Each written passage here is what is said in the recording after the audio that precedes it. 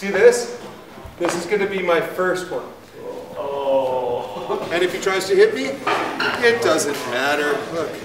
It doesn't, it doesn't matter. He's got, he's got next to nothing before this ends. So what's the first thing you should do when you find yourself in a survival situation?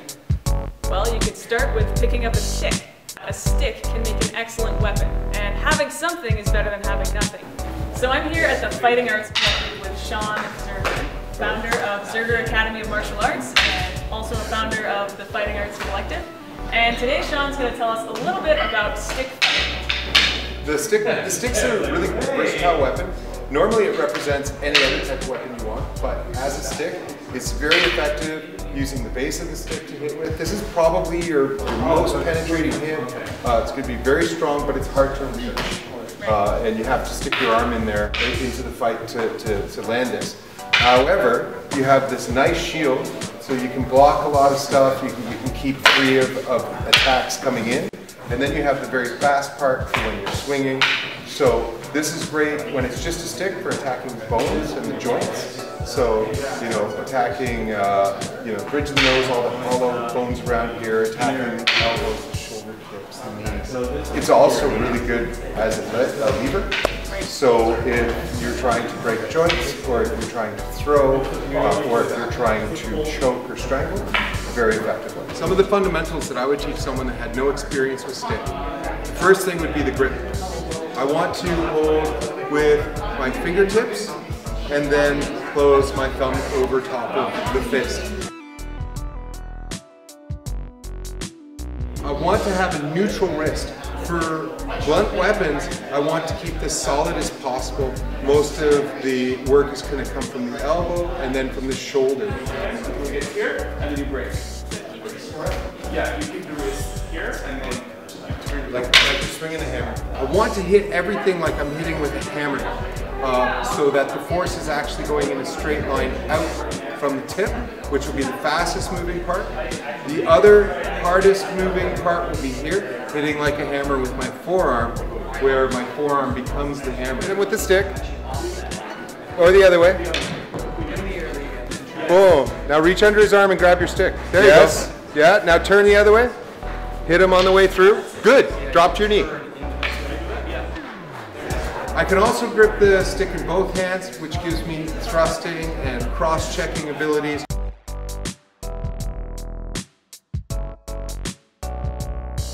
Do it again.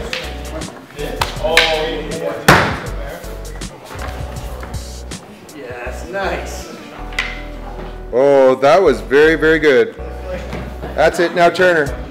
Good. Now pull your weapon out. Now hit. Boom. Boom. Yeah. Yeah. There you go. Turn them. Good. Good. So the next thing that's really important about stick is power generation.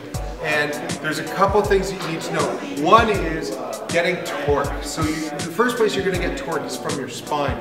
This is gonna come from your feet and turning, turning your body. So if I turn my body and let the arm extend, that's going to add torque to whatever I can get out of this hammer motion. So I can torque this way and torque that way. I can torque into this hammer blow with the butt of the stick and I can torque into blows with the tip of the stick. Don't want to hit so much with the middle because I'll break my stick, but then I'd have a neck. So that would be okay.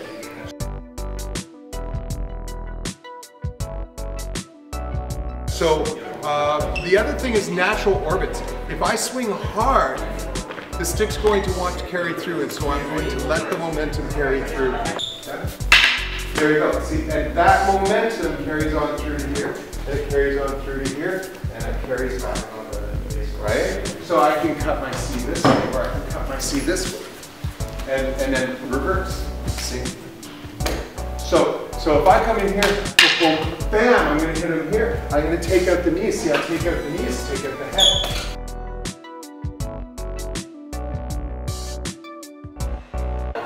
So natural orbits, and what I would do is I would just tell the person to keep swinging heavier and heavier sticks until it was easy to swing.